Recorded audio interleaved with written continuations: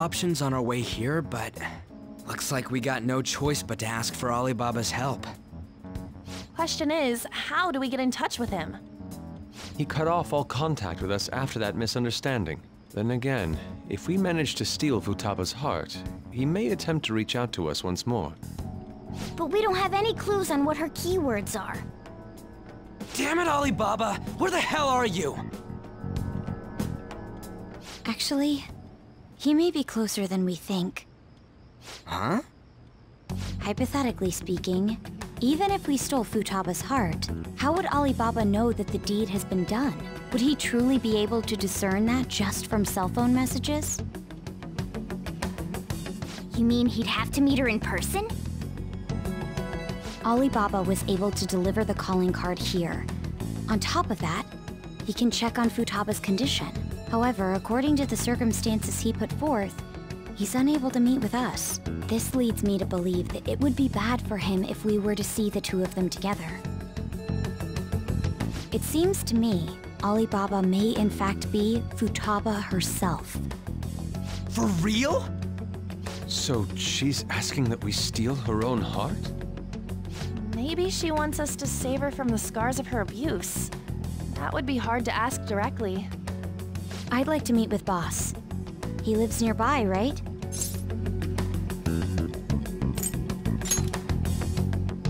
I won't ask anything that will get you thrown out. I agree. It's real late, though. What are we gonna tell Boss when we get there? We'll say this takeout sushi is a gift for him. But my fatty tuna! No complaining. Let's all go together. Boss may get the wrong idea if he and I show up alone.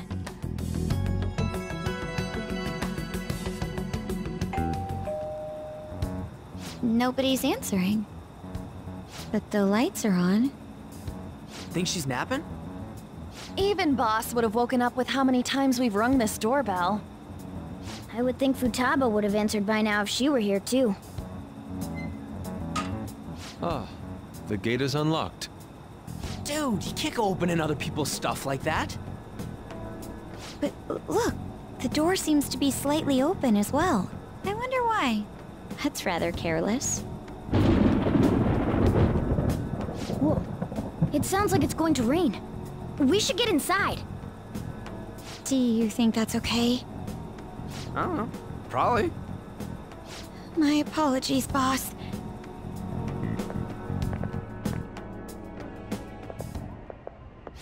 Hello, sir?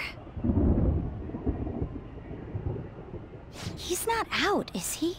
The door ahead is open, and I can hear the TV. I hope he didn't pass out or something. I mean, Boss is kinda old, ain't he? I'm a bit worried. Should we go in and check on him? Please excuse us.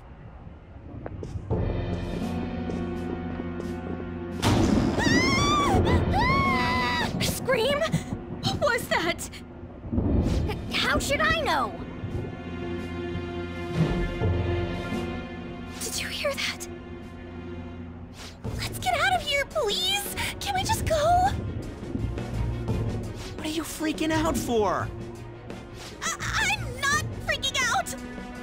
Could it be Alibaba? I mean, Futaba?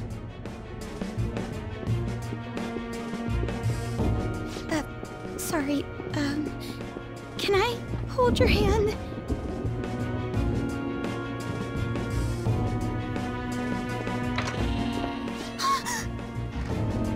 I can sense someone's presence. Who is it?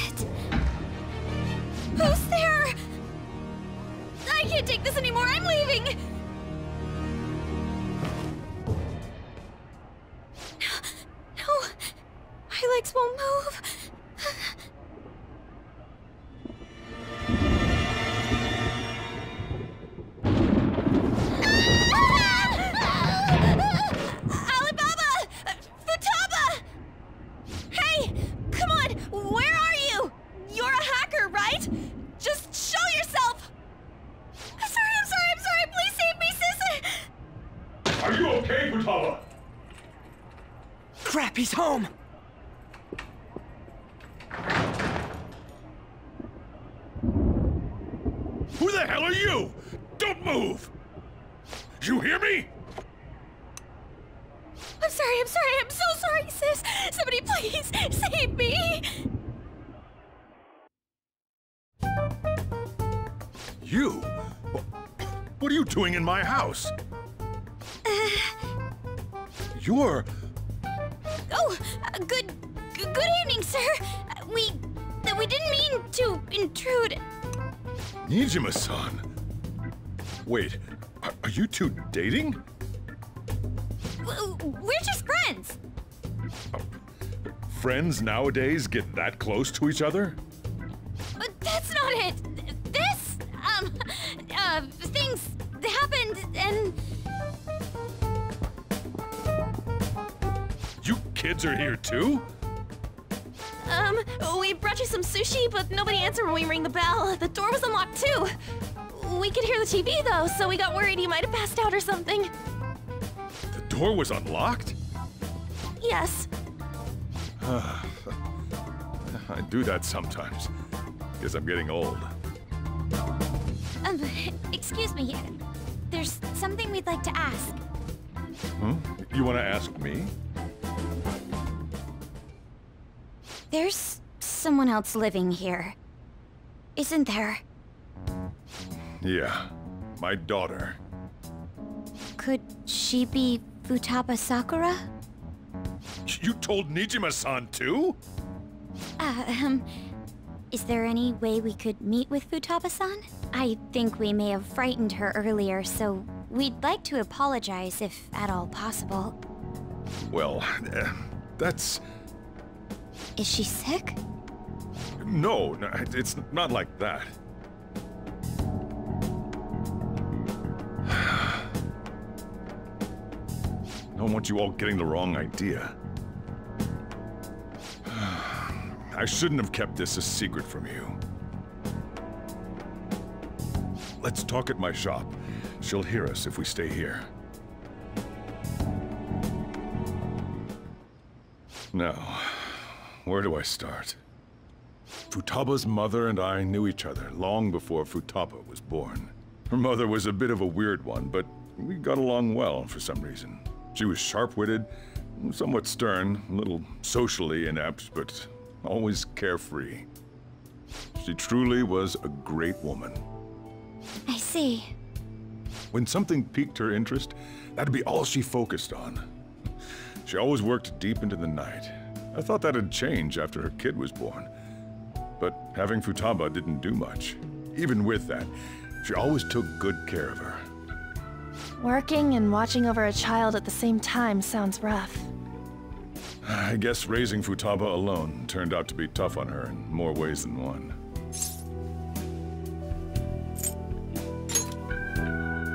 There wasn't a father. Do you mean... Well, there probably was one. I didn't know him, though. She never said a word about him either. She was single when she gave birth to Futaba, and single when she raised her. They were an ordinary, loving family. You could really tell how much she cared for Futaba. but one day, she left, leaving Futaba behind.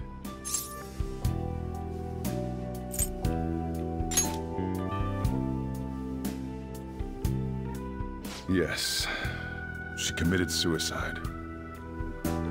Suicide? Threw herself into the street, right in front of Futaba's eyes. Shocking doesn't begin to describe that. It's gotta be devastating for a kid. So... Well, a lot happened after that, but I ended up taking custody of Futaba. First, she was so depressed, she... she wouldn't even talk to me. Was that because she couldn't get over her mother's suicide?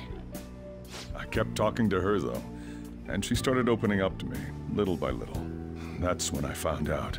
Futaba blames herself for her mother's death. What? But why? That part she's never told me. I wanted to know what led her to believing that, but I decided not to rub salt in the wound. Then, a few months ago, she started getting real scared. Even when nothing was happening, she'd say things like, I hear voices, and Mom is looking at me. Visual and auditory hallucinations. Have you taken Futaba to a doctor? I wanted to, but she refused. Even when I had a doctor come, she locked herself away in her room. Since then, she's become what you'd call a shut-in. She won't take a single step outside the house, or even try to see other people. What about you? She doesn't even let me come in her room. That's pretty harsh. Futaba is, well, a unique girl. She's so quick-minded that conversations with her tend to jump from one topic to the next. It seems like she's always coming to conclusions in her head. There's a lot I don't get about her. Hmm. So, yeah, her situation is why I couldn't let you in my house.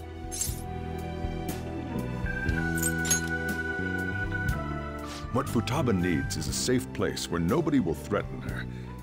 Somewhere she can be at ease. That's why I won't do anything she doesn't want. I don't make her do anything she's unwilling to, either. And again, I know that's no way for her to live. It's all I can do, though.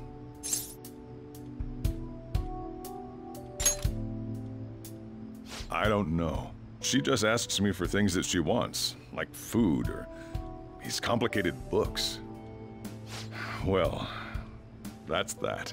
So, can you just leave her be? I'm gonna head back then. You all had better head home soon, too.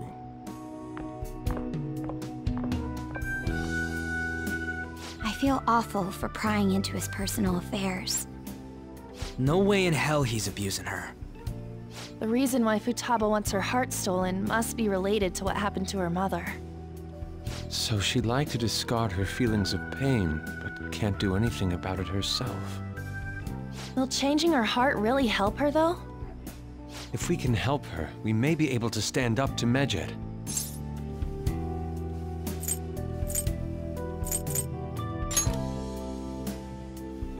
Hold on a sec. Do we even know if she has a palace? Let's check. The Futaba Sakura that lives at Sojiro Sakura's house. Is that gonna be enough? Candidate found. What the? She's got one. So someone can have a palace even if they're not evil? Hey, Morgana. Uh, Where's Morgana? I haven't seen him for some time. So, ever since we went inside Boss's house? Somewhere around there. He'll be fine, though. He's a cat after all. The trains are gonna be shutting down for the night soon, so we should probably be heading home. We have to go to school in the morning after all. Oh, right. The urgent assembly. An assembly? What about? Shujin has been garnering a lot of attention ever since Medjed called out the Phantom Thieves. So, they need to remind us not to say arbitrary stuff online and add more fuel to the fire. We gotta meet up for every goddamn little thing. Talk about a pain in the ass. I mean, it is our fault. Anyway, let's contact each other afterward.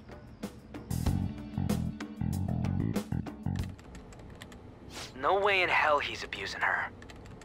The reason why Futaba wants her heart stolen must be related to what happened to her mother. So she'd like to discard her feelings of pain, but can't do anything about it herself. Will changing her heart really help her, though? If we can help her, we may be able to stand up to Medjed. Hold on a sec. Do we even know if she has a palace? Let's check. The Futaba Sakura that lives at Sojiro Sakura's house. Is that gonna be enough? What the? She's got one. So someone can have a palace even if they're not evil? Hey, Morgana.